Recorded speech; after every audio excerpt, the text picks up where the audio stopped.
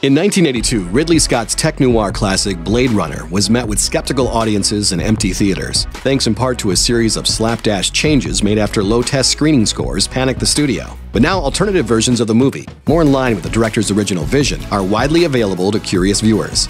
As a result, the film's popularity has risen steadily over the years, along with a lot of burning questions. Are you for real? No, seriously, is he? Blade Runner depicts a near future in which androids, known as replicants, are so advanced that they're virtually indistinguishable from the real thing. And most of the debate surrounding the film centers on whether its hero, Rick Deckard, played by Harrison Ford, is a human or a replicant. Let's try to make some sense of it all. The Origami Unicorn. So, is replicant hunter Rick Deckard actually an android? This scene suggests the answer is a definite yes. After dreaming of a unicorn earlier in the film, Deckard finds and fondles this origami version, which must have been made by Eduardo Gaff, the veteran LAPD Blade Runner and origami maker who orders Deckard around. But Deckard isn't exactly the type to open up to his coworkers about his nighttime fantasies, which means the only way Gaff could possibly know Deckard dreams about unicorns is that he somehow read Deckard's memory file. And if there's one thing we learn throughout this movie, it's that Gaff is creepy.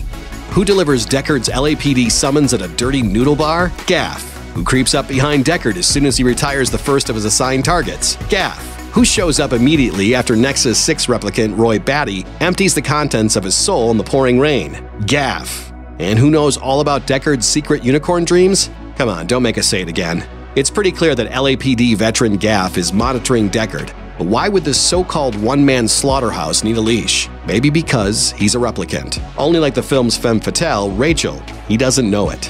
Who's the man? Eduardo Gaff also drops one major hint that our Blade Runner hero might not be a human after all, after he's completed his mission in a surprising climactic moment. You've done a man's job, sir. This is one of the most dissected, debated lines in the film's history, and for good reason. If you want to praise a guy for a job well done, it's kind of a weird choice of words, right? That is, unless the man in question isn't a man at all, but a robot. In which case, it's a heck of a compliment, and a good way to tip off your audience as to Deckard's true nature, in case they hadn't figured it out yet. The director's take. At this point, the evidence seems to be piling up that Deckard is indeed a replicant, and we haven't even mentioned how he survives through multiple battles that would probably leave an ordinary person in several pieces, or the split second where his eyes seem to flash with the otherworldly glow that's unique to the film's replicant characters. But since nobody knows the truth better than the man who made the movie, it probably makes the most sense to just ask him. Ridley Scott has already said that when it comes to the Deckard question, if you don't get it, you're a moron. But in an interview with Wired, he went into detail for all of us morons, saying, That's the whole point of Gaff. The guy who makes origami and leaves little matchstick figures around, he doesn't like Deckard, and we don't really know why. If you take for granted for a moment that, let's say, Deckard is a Nexus 7, he probably has an unknown lifespan and therefore is starting to get awfully human. But wait, there's more. So Rick Deckard is a replicant, has always been a replicant, and will always be a replicant, right? Well, not so fast. The dissenting opinion on that front is none other than Harrison Ford, who says he and Ridley Scott were always at odds over Deckard's true nature. So I resisted the idea of being a replicant.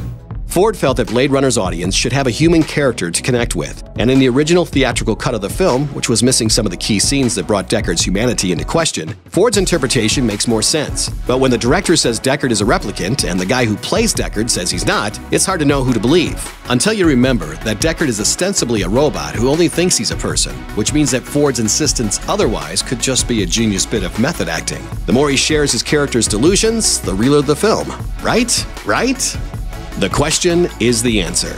Pretty much everyone involved in Blade Runner has an opinion on the is he or isn't he debate about Rick Deckard, but author Philip K. Dick, who wrote the book the movie was based on, should get the last word. And according to Dick, the ambiguity surrounding Deckard's humanity, and more broadly surrounding whether there's any real difference between humans and replicants, is kind of the whole point. It's a replicant who saves Deckard's life and delivers the film's most poignant lines before dying with grace and dignity. When the replicants show more empathy than the men who created them, which one of them is more human? What do the insights of a robot tell us about the meaning of existence? They're just questions, Leon.